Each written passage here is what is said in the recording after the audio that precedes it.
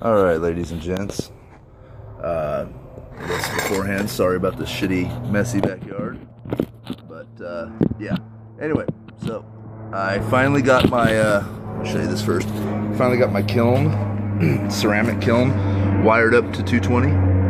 Um, this is the only temperature setting it's got is this uh, high, medium, low. It doesn't have a control pad. So I'm testing it right now for the first time. This first time I've ran on 220. I, I Jimmy rigged it up to 110, but obviously it didn't get hot, near hot enough. It got to like 800 degrees.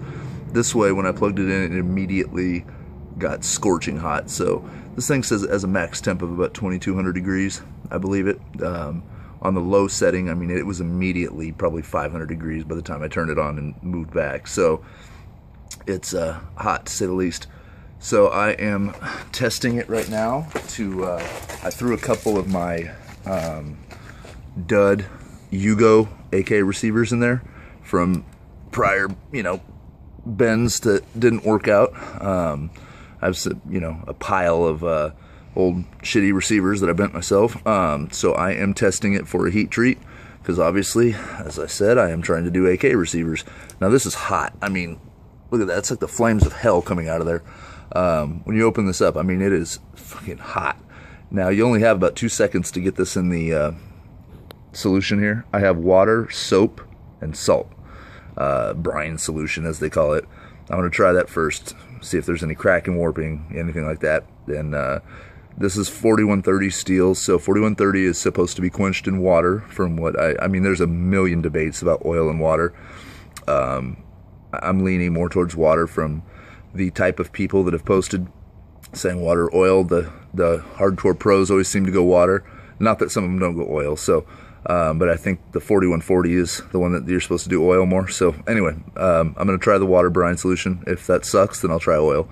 But uh, I do want to blue my receiver, my good receiver, after I'm done. So I don't want to do oil and screw that up, which is what they say can happen. So um, this has been in there for about three minutes and I'm having trouble even opening the door. I don't have um, a set of hardcore uh, gloves for, for doing this. And as you can see, flames of hell, hot. Holy shit. I hope that didn't just burn my lens. Nope, just fogged it. Okay. Uh, yeah, it's hot. So, I'm trying to figure out a way to open it. I got my little oven pad here, but I'm going to need to go out and invest in some heavy duty gloves.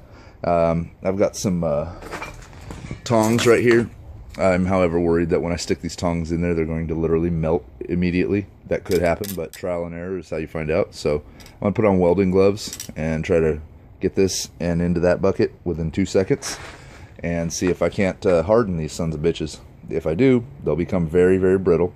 Um, so they'll need to be drawn back to which, you know, um, there's the heating it up to the, the light blue phase or there's putting it in a kitchen oven to 550 for an hour uh, 550 is generally a little low from what I've read. Now, again, this is all just from research I've done.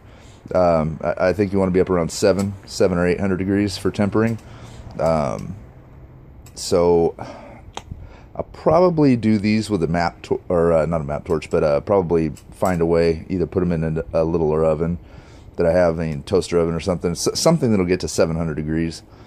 Um, or let's see, no, I can't do that with a torch. So anyway, I'll have to find a way to draw it back uh, evenly. So that's my task for now. But I got this thing running, so I'm stoked. I am going to uh, pull these out now and drop them in the uh, quench if I can. So if I uh, screw some up, you'll be here to laugh.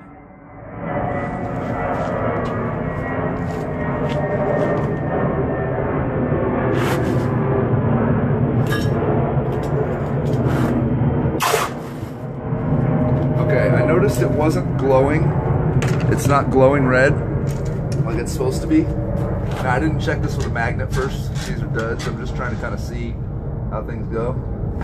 But as you can see, I don't know if it's focusing or not, but it's got that blue color that it gets when it's hardened. You know, that really, really, really blue. Almost looks like it's blued. Hmm. Hard to say.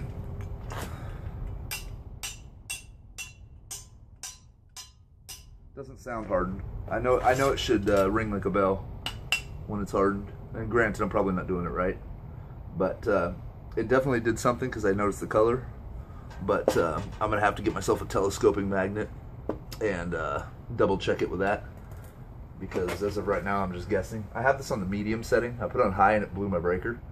So uh, I have one more dud in there and it's not glowing red yet. I'm scared to turn it to high though. I don't want to blow the damn breaker again. But high says it'll get to 2200. I don't want it near that hot. So I just need it to get 16. So anyway, uh, trial number one. This is the uh, Yugo receiver, 1.6 mil thick. Um, I'm gonna say it was a no-go, but further further testing will be needed. So stay stay tuned. Pretty soon I might be offering to uh, heat treat your receivers for you. I know Childers and um, Nodak and stuff already do it, but who knows? Maybe I can do it cheaper. Maybe not. Those guys uh, those guys seem to have a, a routine down. But if nothing else, I can do my own. So stay tuned.